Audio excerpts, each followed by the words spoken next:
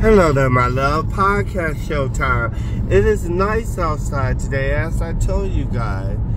Then now, it's beautiful. All the snow is gone. But now we're gonna ask some questions here. We had some power out for a while, so and the power been out for a while. Give me more. You said snow will be up here sometime in May as well. Seen a snow, snowstorm on the first weekend in May one year.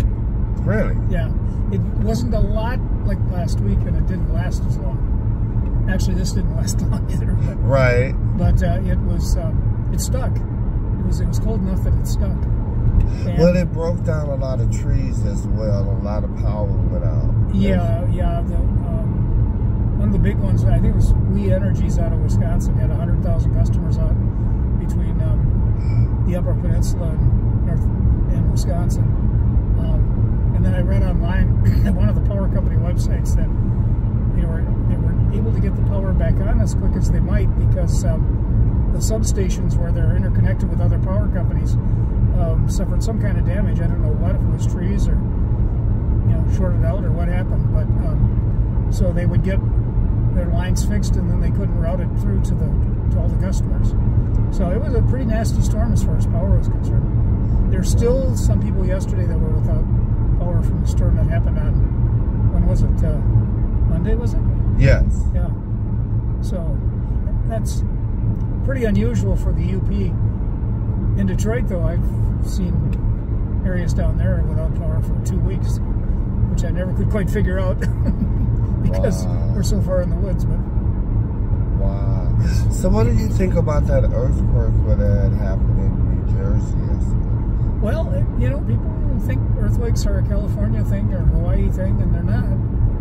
Um, I saw an interesting explanation from a physicist last night.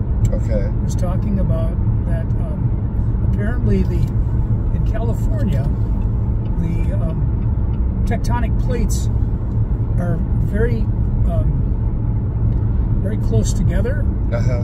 and so earthquakes there they'll be felt in a, in a very concentrated area versus uh, there's one plate I think that goes from almost California to New York.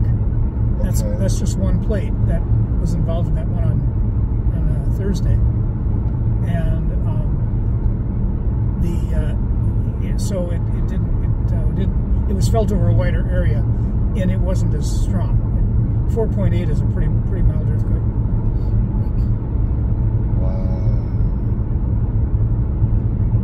It has to do with the location of the earthquake. It also has to do with how deep down it is. Um, the deep down earthquakes Okay. um, will tend to be felt um, over a broader area versus the ones that are further up. They're felt more locally. At least that's what this guy was saying. So it's. Not, I know you had said when the earthquake is coming, it's best to get in the middle of the door. Well, there's a, yeah. Actually, if you stand in a door, that's what they always advise, um, because the door is the fact that you put a door in the wall means it's short up. Okay. um, you know, it probably has a, a heavier beam over the top of it, and um, yeah, you tend to it tends to um, that's where they tell you to go. Well, I must tell you that you know, a lot of people say that God is coming back, but no one know the day or the hour when the Lord shall appear. But I must say this: we must keep our faith, and you know that Jesus died and rose for your sin. Just be also ready when He is coming. I always pray, and I pray for everyone into the world. When you call upon me, Lord, forgive me for my sin, past, present, and future. But have mercy on my soul. But when you call upon me, just call me in the narrow. But let's keep on loving and enjoying your family, loved one. And let's stop this hatred. But you know what else? Now let's talk about something else. Let's go on something about these beautiful classic shows that I love watching with you. Well, you know I'm a big fan of Fred Astaire and Ginger Rogers, and I love the classic shows. What got you so involved into all this classic? um, I just like old stuff. I was always an old person in a younger person's body. so, so the, the, best thing that ever happened, as far as I'm concerned, from my entertainment was uh, was Turner Classic Movie coming on the air. I think now they're, I think they're celebrating their 40th anniversary. Whoa! And it was so cool to be able to uh, to uh, see those old those old time movies. Uh, some of which are really very very good. Um, and quite honestly, most of the time, I would rather watch from Turner Classic Movies than I would watch a modern movie. There are some exceptions. I've been to been to some movies in the theater in recent years that I've really really liked, but um, there's an awful lot of it that's not very good. well, I know what I love about the classic movies because of the the beautiful gowns and the fashion and the dress and style and the elegance and sophistication and how smooth in the way that they dance. I know I hear a lot of times when people ask me, who taught you, who trained you as a dancer? Trained me as a dancer. Yes, I took a little modern dance class in high school, but that ain't only taken it not even for a year. But watching TV, and I love the way that I used to see Fred Astaire and James Brown. I would collaborate and mix them all together. Everyone had a beautiful classic move, uh, sophistication, and you know Nat King Cole with his style of very smooth and elegant. So let's get into the silent movies. Oh, silent movies, yeah. Yeah, I, I never cared much for silent movies until uh, I got interested in, in theater organs. I've always been interested in those, but um, only when I got involved with the American Theater Organ Society is when I actually got into theaters. I still had them, and they were accompanying silent movies. Um, and that is really something. But you, you watch know, the silent movies now, but you wasn't not interested in Well, I was, I was bored by them because, okay. Um, you know, most of the soundtracks that they put with them weren't very good. Okay. Um, and were, were silent movie organists were trained to um, to react to, to movies. In split second time, the organs that they played were like orchestras commanded by one person. Uh-huh. Um, and plus, they were, I mean, the sound that comes out of one of those is every bit as good as the sound you hear in a, in a Dolby surround sound system in, in theater today. Um, they're they're big, they're powerful, they're and they did it all mechanically. There were no electronics, no loudspeakers It was all just air and pipes, you know. But uh, amazing. And then, of course, the the theaters themselves, those movie palaces from the late 19 or from the mid 1920s, 1919 or thereabouts, uh, they built for about 15 year period were just eye popping. Really? Um, because people, well, first of all, they were built for live performance and movies. So they had stages and that would accommodate a live performance, dressing rooms, and the whole works, and, and then a big pipe organ, and then the, the houses themselves were, you know, in the bigger cities, they would seat five, six thousand people. Really? And um, the uh, so when when people went to a, a movie in the 1920s, um, they went to an evening's worth of entertainment. Uh-huh. They had, you know, the organist there. They playing a prologue. They had in bigger cities, they had a full orchestra. Um, they had vaudeville entertainment, um, comedians and and choirs and singers, and I mean it was all on the it was all on the on the on the uh, all on the program for a, a dime. for what? For a dime back then. really? So let's get more into the silent movie actors and actress.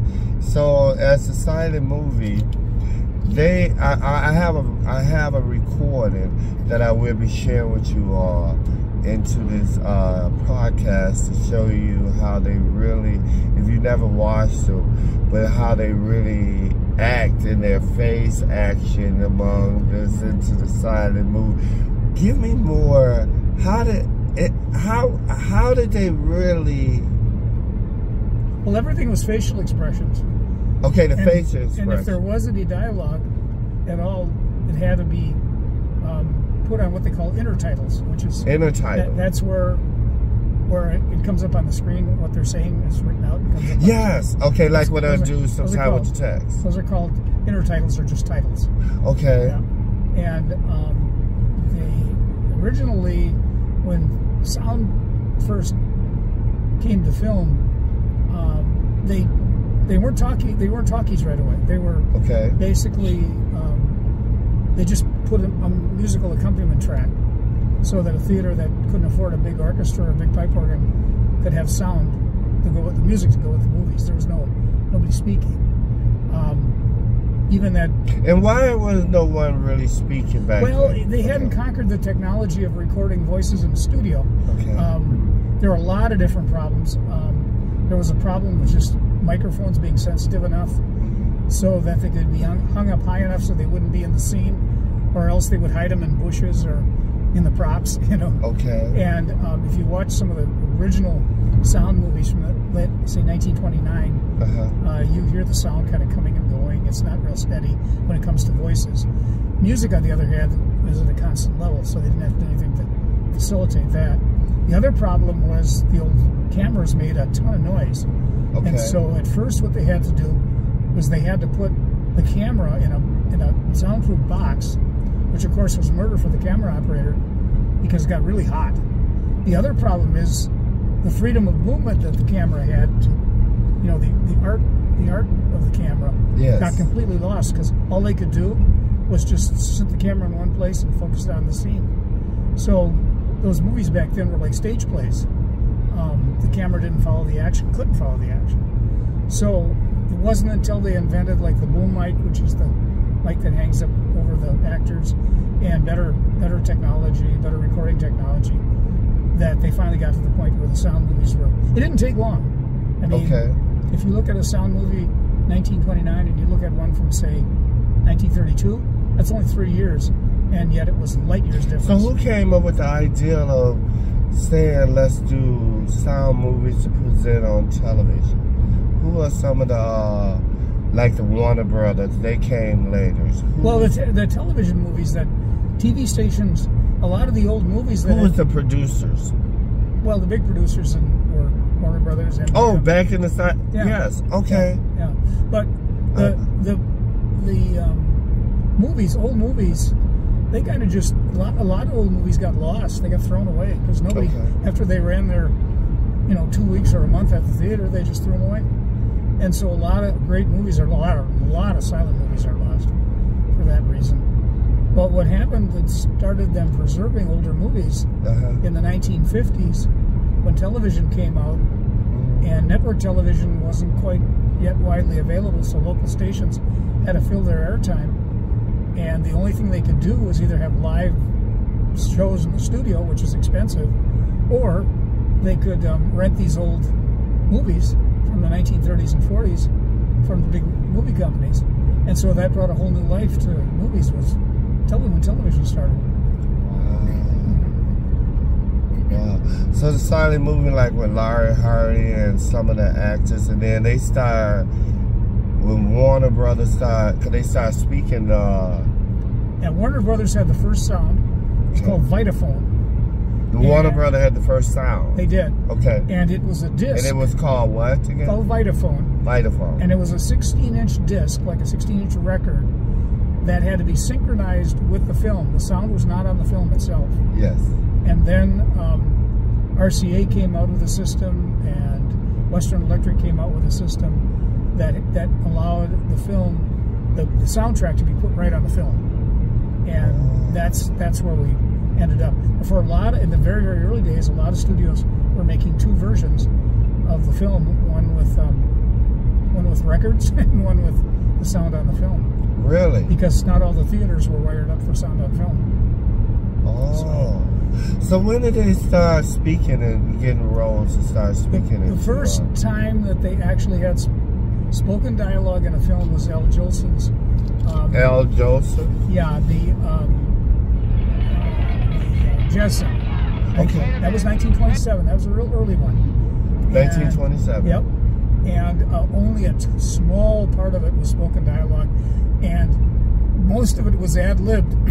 Jolson just ad libbed it. Oh, really? And so if you watch the, the movie, the lady that's playing his mother, she's like looking at him like, okay, now what am I supposed to say? it was really funny. And then, of course, his, all this, all of his sung parts, that was all. That was all. But the rest of the time, um, not only was it just um, orchestra background, but even the intertitles for the dialogue because they didn't they didn't do all the dialogue.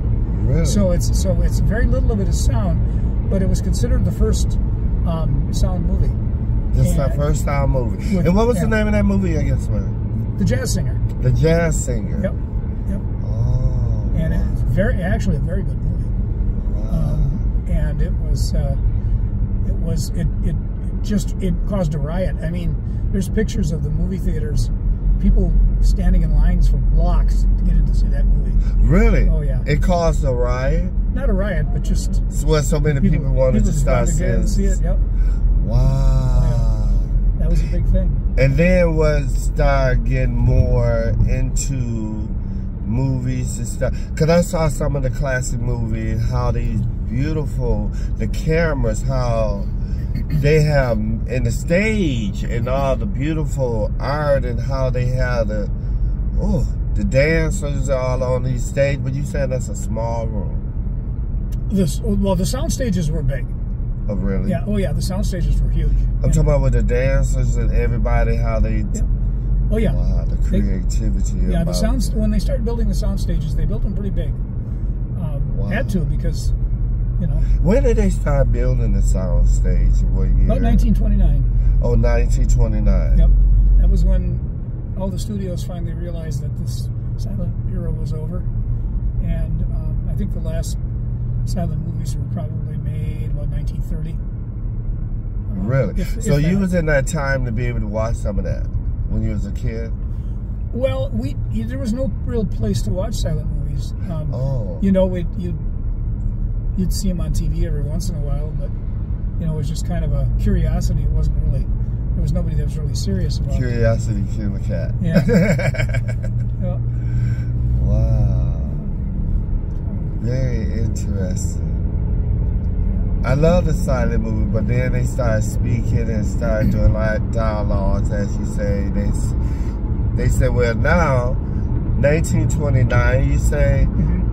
And they did a little short snippet, and then they started developing to get more into acting roles. Yeah, tw- 27 27. was when was the jazz singer came out. So The Jazz it only took about two years. um, Two years in, after. in the two in the in that two year period from 1927 to 1929 is when they uh, that's when the full talking movies started and the silents were done. Wow. How creative. And then open the doors for a lot of actors to start doing what they're doing today. Well, Broadway Broadway actors Broadway. were in Say were it again. Broadway actors were in big demand um, in the early silent days because you know a lot of the a lot of the silent That's correct. If you if you want to Broadway is like the Broadway in New York, and so it's silent. That's what Broadway started coming Ma- from. Many of the silent movie actors had terrible voices Okay, or couldn't speak well at all, really? and they didn't have to. And uh, so when um, some of them lost their careers when sound movies came out because they didn't translate well, others Okay. others did fine, you know. But it was the uh, oh, look at that. Um, the uh, the big the big thing that they did when they originally came out with the sound films was musicals. They had everybody singing, even actors that couldn't sing, because they figured everybody wanted that, and they did for a couple of years. Then the novelty wore off, so they wanted more serious movies. Wow. From there, How interesting. yep. Love it. Love it. Love it. Wow. So coming up in five more years, we'll be well, actually not five more years, three more years. We'll be celebrating the um, 100th anniversary of the first talking movie, Of the first talking movie. 1927. It's Wow. And that's that's uh it's 2024 right now. So wow. How deep and interesting. Wow. I appreciate that history of the um, of giving me more, giving us the t- uh, education of how movie started and voices is silent. Now let's look outside and see this. There's still some snow up in here. Yes. It's still there. Right now it's um, like 55 degrees, so I don't think it'll last long. it will not last long.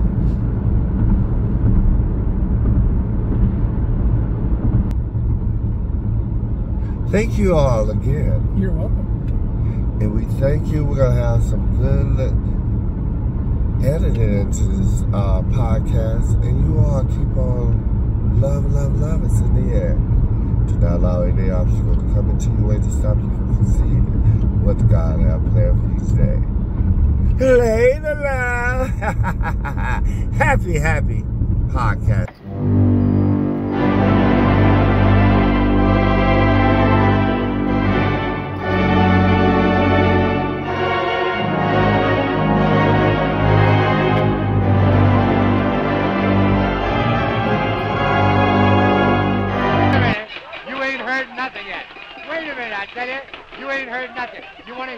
Tootsie? All right, hold on, hold on. Lou, listen, play Toot Tootsie, three choruses, you understand? And the third chorus, I whistle. Now give it to him hard and heavy. Go right ahead.